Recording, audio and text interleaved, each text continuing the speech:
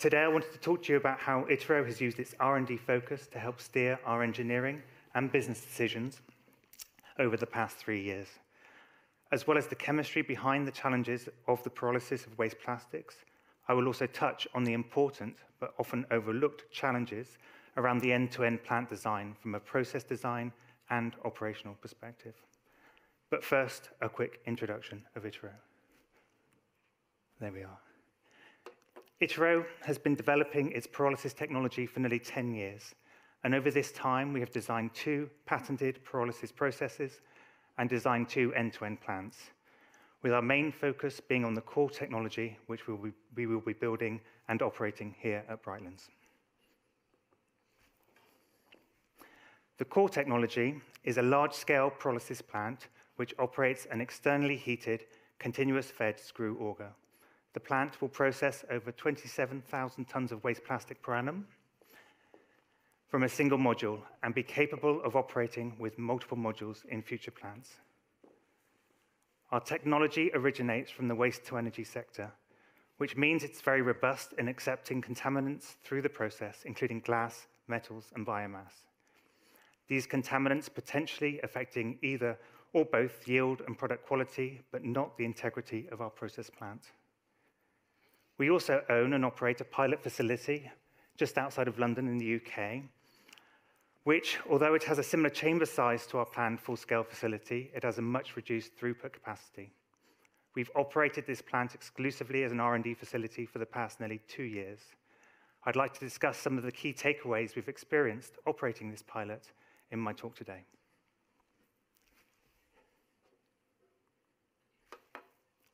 Some pictures of the pilot.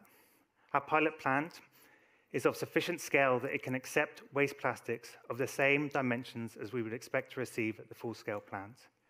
It can process enough feedstock so that the variations in the feedstock makeup are reasonably blended over each test run to ensure a representative oil can be produced for analysis. Finally, our pilot has a fully automated control system, something I'll talk about a bit later. Both of these factors allow us to test many different types of waste at a real-world scale.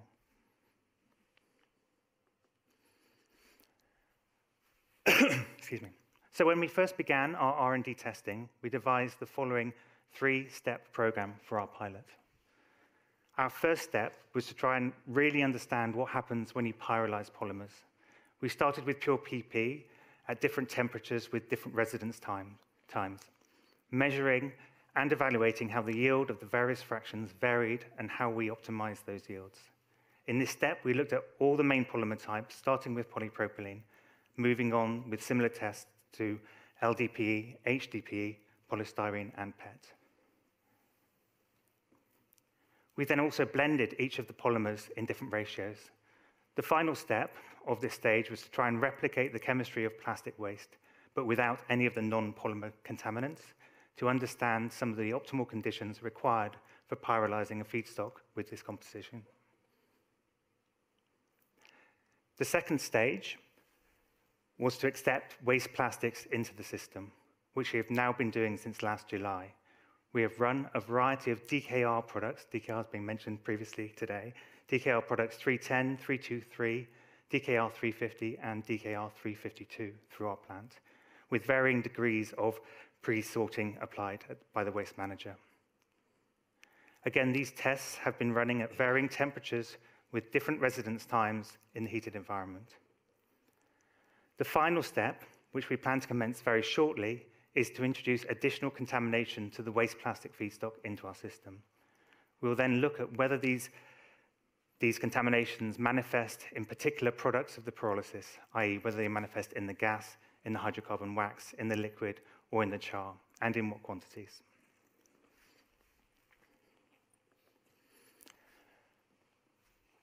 So this is what I might call the modus operandi behind the design of our R&D. An R&D program whose end product is a roadmap to making more educated decisions in the attribution of the value of specific waste plastic feedstock specifications into a commercial process plant. And we have learnt hugely from all the 70 plus test runs that we've already performed at our plant in the UK. We designed our R&D program from a pretty scientific frame of mind to better understand the differences between the input feedstocks transformed in our process with certain variable parameters and the impact this has had on the end offtake quality of the oil. Essentially, to try and work out the optimal feedstock from an economic as well as a chemical perspective, which via our process can produce the highest yield of valuable circular product. However, although we are a long way along in this journey and have not reached the end, we feel that we've learned an awful lot more than the results of the R&D have actually provided us. Because, having said all of this, the biggest learning for us and the factor which has been made the biggest impact on our plant design and operation recently has not come from the results of the R&D, as set out before.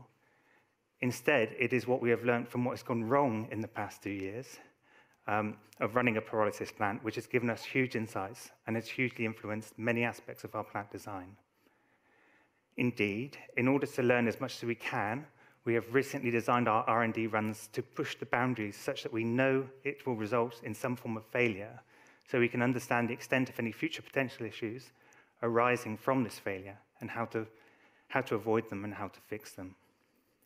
In all honesty, it's been, to me, a bit of a revelation that we learn more by getting something wrong than achieving what we expect to without incident.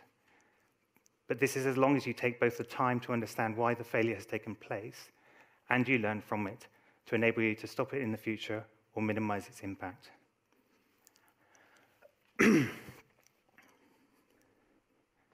so, what have we experienced? We have experienced three main fail focus points within our system. Feedstock entry, management of the residual, or if you like, the waste solid streams, and the control systems. Firstly, feedstock entry. We have found that, even putting aside the variations in the feedstock specification relating to the polymer and contamination makeup, it is the physical specifications and dynamics of the waste plastics that can cause significant issues to the entry of the feedstock into our system. Specifically, the feedstock density and particle size are particularly important. Increased moisture content also impacts density, even in plastics, and also impacts the heat transfer into the feedstock, and therefore the speed at which pyrolysis takes place. So we've spent a lot of time both reviewing the whole plastic feeding system of our plant, but specifically at the point where this intersects with the heated pyrolysis environment.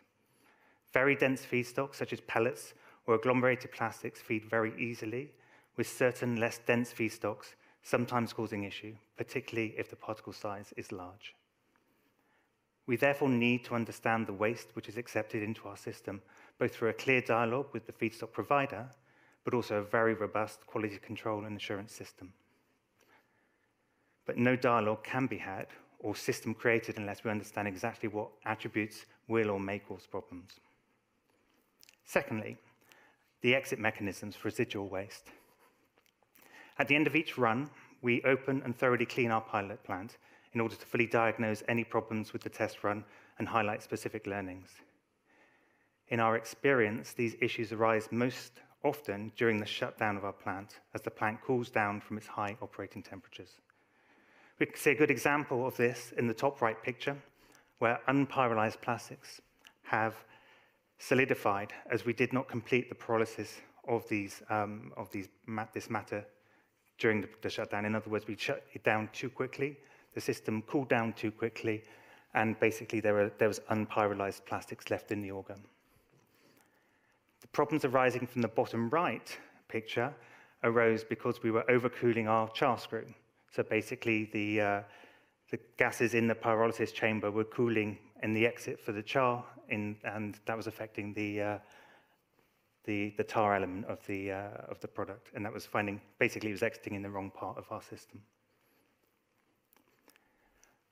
Finally, bottom left picture, the control systems. So we've spent a lot of time creating and optimizing our fully integrated control system for the pilot plant, something that we'll look to replicate in the Brightlands plant that we're building. This allows the plant to be fully automated, including emergency shutdown procedures as well as planned startups and shutdowns. It also provides us with second-by-second -second data analytics to help with our R&D. Our control system incorporates monitoring and operational procedures specifically designed for process safety and developed throughout our experience gained through the R&D process, For example, by virtue of, excuse me, by of accepting many diverse waste plastic specs, specifications into our pilot, we were forced to adapt our system operating procedures to be more robust. But it can be overly sensitive. Sometimes a faulty sensor can trigger an automatic shutdown, which may or may not be capable of manual override. This certainly has caused a lot of frustrations for us, as often the reason for the shutdown is not immediately evident. So we try to learn from these fails and, for example, maybe incorporate either backup sensors to ensure faulty diagnoses are not made, or make processes in, particular, in particularly sensitive areas of our process plant more robust. So, by performing over the past nearly two years a series of R&D test runs, Itero has benefited not just from the findings of these tests, but, has, but it has learned things of much greater value.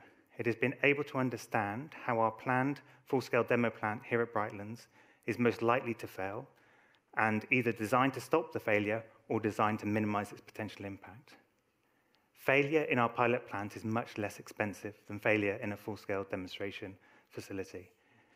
Failures also arise from operating procedures and human error, from operating systems, or, even as we have found, from variations in ambient temperature from day to day. By, by learning through R&D, our pilot plant, before we even begin commissioning, sorry, I'll say that again. By learning through R&D in our pilot plant before we even begin commissioning, we believe our pathway to success in the operation of our plant here in Brightlands will be much enhanced. Thank you.